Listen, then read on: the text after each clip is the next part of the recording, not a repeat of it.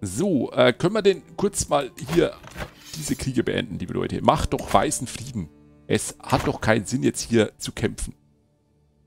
Das tut doch überhaupt nicht Not jetzt hier.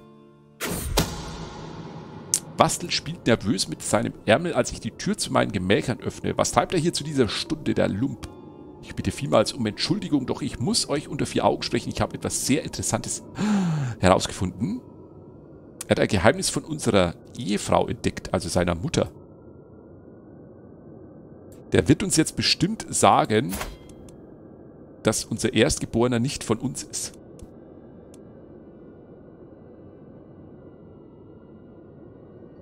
Wir verlieren unser Druckmittel gegen Wastel, das ist aber okay. Äh, wir könnten ihn auch foltern.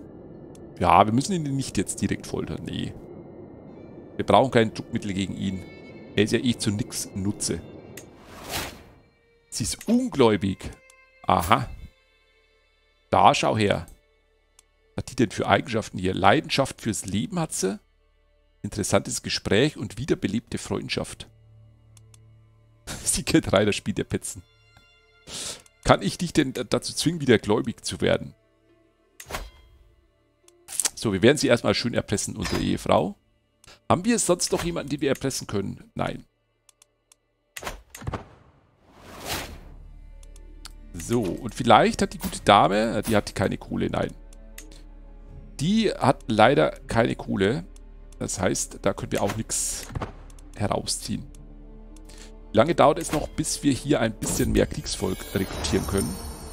15 Jahre noch. Ein Motto für die Ewigkeit.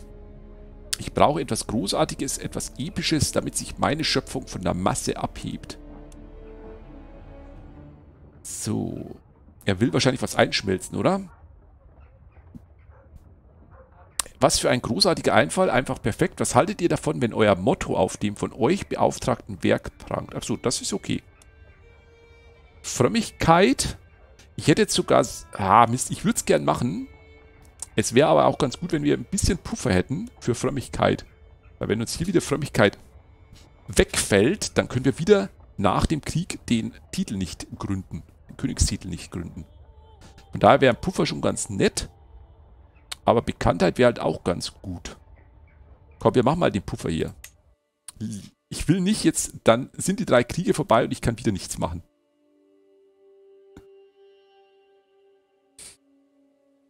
Du hättest, du, was, du hättest dir die Erpressung mit Meinungsabzug auch sparen können. Wieso denn? Wieso hat, habt ihr was dagegen, dass ich meine Ehefrau erpresse? Bitte was? Auch wenn sie keine Kohle hat? Natürlich wird die erpresst, damit sie weiß, woran sie ist, wenn sie schon ungläubig ist.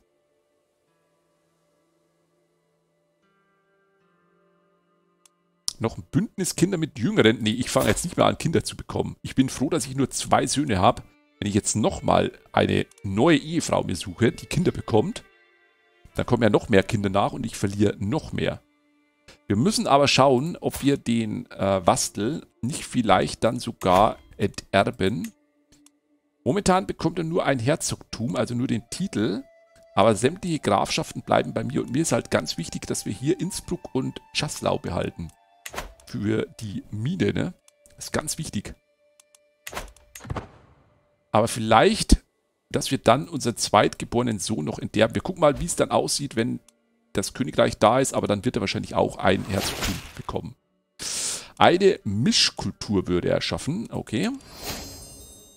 Kriegsorden wurde gegründet und äh, wir werden aufgefordert, im Krieg mitzumischen. Äh, können wir uns aus dem Bündnis schleichen? König Pretzlav von Großmeeren. er hat halt nichts mehr jetzt. Also er ist schon ein starker Verbündeter eigentlich. Also ich würde ihn schon ganz gern behalten. Auch wenn er jetzt so kriegstreiberisch ist.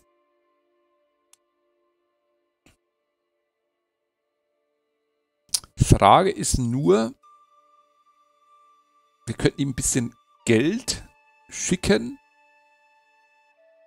Ah, hier würde das Bündnis beendet werden. Das heißt, alle drei Kriege wären sofort weg.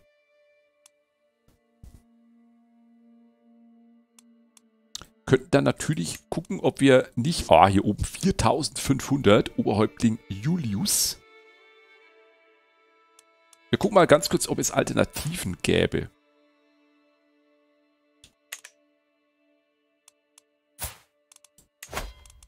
Ob es hier vielleicht Alternat gute Alternativen gibt hier. Wessex mit 5000. Balaton ist, glaube ich, im Süden. Ja. Hätte 3000. Also es gäbe noch Alternativen, die wir hier uns anschauen könnten. Unsere Tochter. Balaton auch. Mercia. Also wir sind jetzt ehrlich gesagt nicht mehr angewiesen auf dein Bündnis.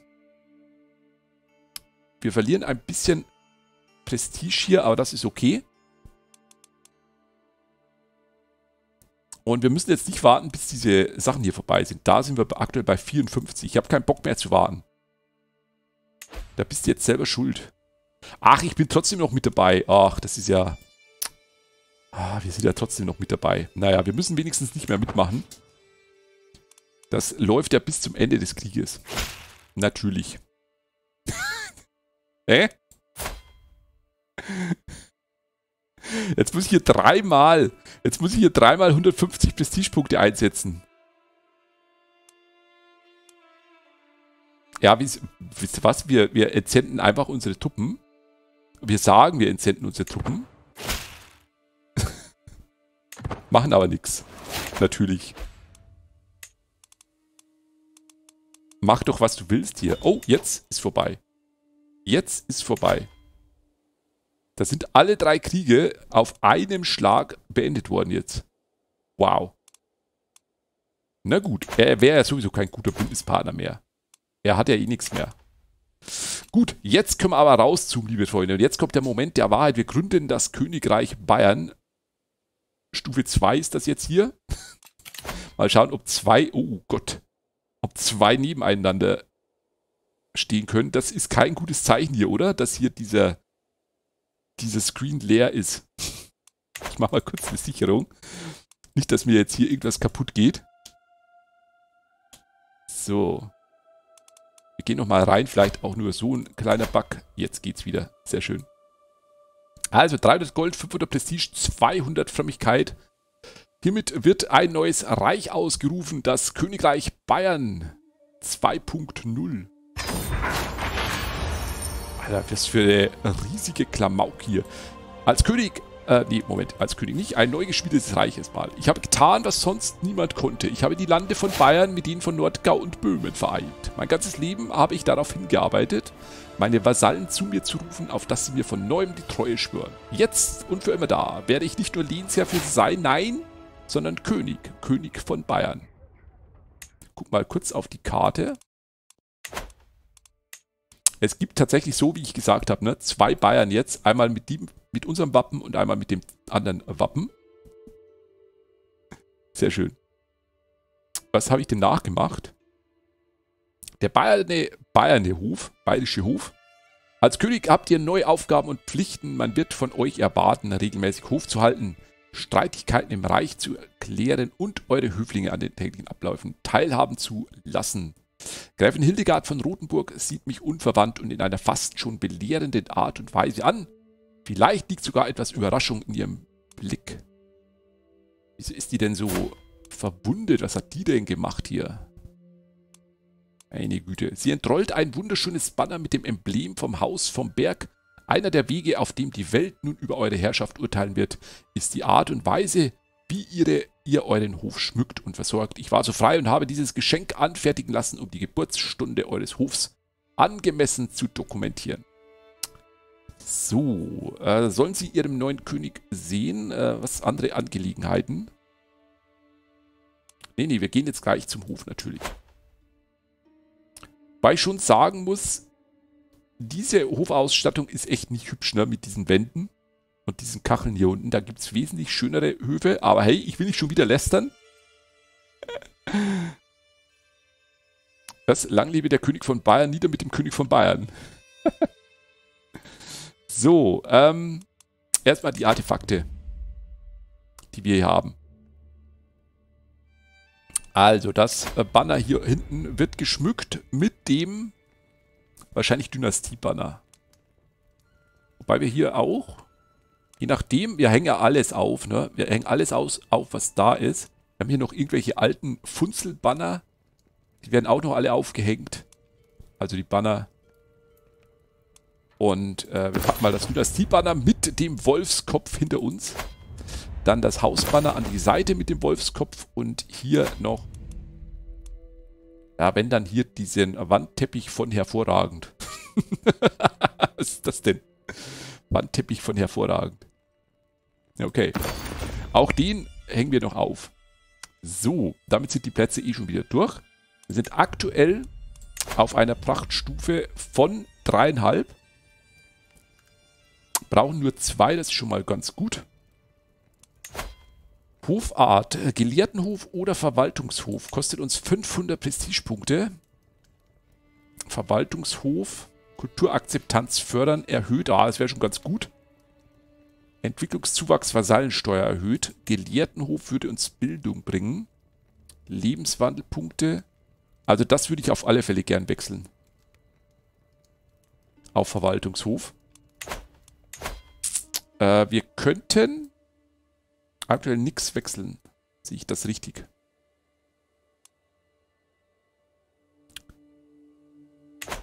Ich bin gerade am überlegen, wenn wir die Mischkultur machen hier oben, sind aktuell bei 26, das wird unser Herrscher nicht mehr erleben.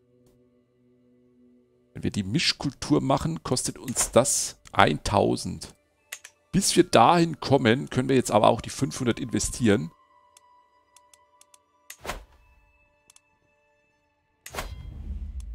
In den Verwaltungshof. Ja. Gut. Wieso, was, wieso guckt er denn so seltsam, unser Herrscher hier? Sehr stechender Blick. Ich dachte, das hätten sie eigentlich schon gefixt jetzt hier. Jetzt sieht er wieder ein bisschen normal aus. Ehefrau, ja. Na gut. Rang 27 in der Welt. Da muss noch einiges gehen jetzt. Aber sowas von. Gut. Hof erhalten können wir auch noch. Das kostet uns noch ein bisschen was. Aber was wir jetzt auch machen können, ist endlich, endlich ein bisschen mehr Kriegsvolk halten. Da werden wir gleich noch aufrüsten. Dann, wir können auch von der Gretel Zahlung verlangen. Unsere Tochter, die hat gar nichts. 0,1 pro Monat. Komm, ich zahle, ich hole mir mal die Kohle von ihr, damit die hier rausfällt. Wenige Ritter, die werden noch aufgefüllt und wichtig ist, wir müssen unsere Herzogtümer jetzt aufteilen. Nicht auftauen. Aufteilen. Und wir werden natürlich das Herzogtum Ah, Böhmen.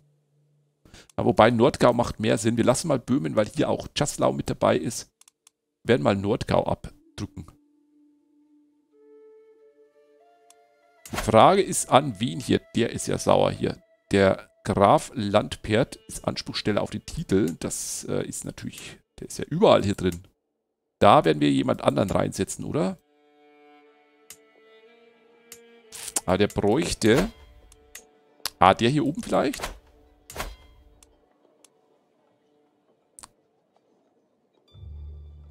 Habe ich minus 33 Tyrann aktuell? Bitte was? So viel war das durch das Ausquetschen?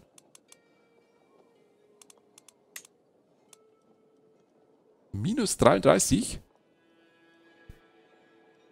Ich dachte, das waren irgendwie 10 oder 20. Doch ein bisschen mehr, wie ich dachte, Mensch. Doch ein bisschen mehr. Also wir geben das Herzogtum hier oben an Graf Landfried von Nürnberg. Äh, genau. Er ist nämlich kein Anspruchsteller und deswegen bekommt er hier von mir diesen Titel. Nordgau. Mal schauen, wie lange er ihn halten kann. Wahrscheinlich nicht lange. So. Wie sieht es eigentlich aus mit unserer Sprache derzeit? Sechs Jahre immer noch, Mensch. Das dauert ja ewig. Derzeit können wir leider jetzt niemanden beeinflussen. Aber es sieht ja ganz gut aus, ne? Also einigermaßen grün. Ach, der geht ja wieder nicht hier. Bisschen orange, aber die Grafen können wir dann ja abziehen. Äh, der hat den Anspruch hier. Hä? Wer war das jetzt? War das, war doch er. Da stand doch gerade im Tooltip Anspruchsteller. Ach so, der hatte Anspruch auf Nordgau, deswegen. Deswegen wahrscheinlich stand es hier drin. Tippe ich mal. Gut. Dann werden wir gleich mal Hof halten, würde ich sagen. Bisschen Punkte investieren noch. Und dann mal entscheiden, was wir mit unserem Anspruch auf Öster Österreich machen. Wir haben aktuell noch einen Waffenstillstand, der geht bis 933, also drei Jahre noch. Und dann würde ich sagen, wenn Bayern einigermaßen schwach ist, dass wir dann mal angreifen. Kohlemäßig, was sollen wir uns denn holen? Es ist aktuell nichts in Planung, dass wir irgendwelche Spezial, äh, Spezialeinheiten bekommen. Momentan sind wir hier noch bei den Antrittsplätzen, die uns nochmal ein zusätzliches Kriegsvolk gibt. Das heißt, wir haben aktuell leichtes Fußvolk, wir haben Pikeniere und wir haben Onaga. Also ganz gern hätte ich eigentlich mal Pferde, um ein bisschen die Verluste zu erhöhen. Dass wir uns mal Pferde holen. Damit, wenn wir Krieg führen oder eine Schlacht führen, dass wir dann einfach ein bisschen mehr Verluste machen. Wird er sich vielleicht, vom, deswegen sage ich ja, vielleicht, wer weiß, wie lange er das halten kann dann. Weil er ist ja doch recht mächtig. Also wir holen uns mal Reiterei. Kostet uns 85. Und wir werden gleich mal upgraden auf die höchste Stufe. So. Dann können die sich schon mal schön auffüllen. Dann haben wir jetzt noch 800 Prestigepunkte. Wir werden einmal Hof halten. So.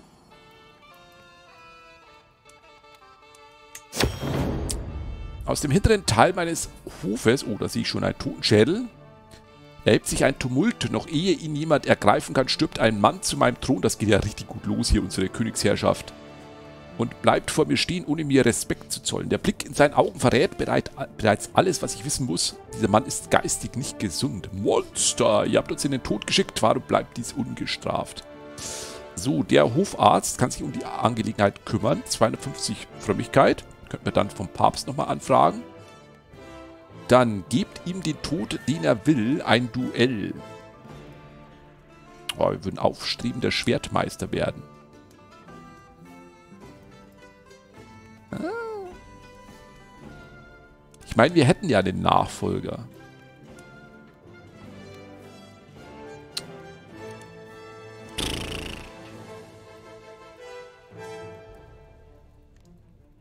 Ja, ihr, ihr, ist, ne? Ihr macht das euch wieder ein bisschen leicht hier. Ich muss mit den Konsequenzen dann leben. Kann ich mal kurz gucken? Ja, zwölf Kampfgeschick hat der. Nee, komm. Was soll schon passieren, genau. Es wäre gut, ne? Anspannung verlieren, Prestige und Schwertmeister. Wir holen uns die Frömmigkeit. Unsere kämpfenden Tage sind vorbei. So, die Helene und ihr Gemahl nähern sich langsam. Mein Fürst, ich habe Kenntnis von einem Komplott im Reich. Das Opfer, dem geschadet werden soll, ist mein Gemahl. Ich habe keine Beweise, vermute aber, dass es Gräfin Guntrud ist. Das ist natürlich Quatsch, wenn man da, kann man ja nicht einfach so sagen. Ich fliehe euch an, kerkert Guntrud ein und setzt diesem Wahnsinn ein Ende. Das macht ja überhaupt keinen Sinn. Wieso sollte ich denn da jetzt zusagen?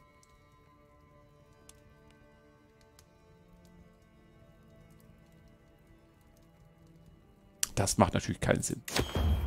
Hinfort mit euch. Ein dünner, zerlumpter Bauer steht vor mir, starrt auf die Opulenz meines Thronsaals. Da er offensichtlich abgelenkt ist, rufe ich nach ihm, um seine Aufmerksamkeit zu erlangen. Verzeiht, mein Fürst, mein Dorf in Passau wurde dieses Jahr von der braunen Fäule heimgesucht. Wir haben nicht nur unsere Erde verloren, sondern auch unser Saatgut.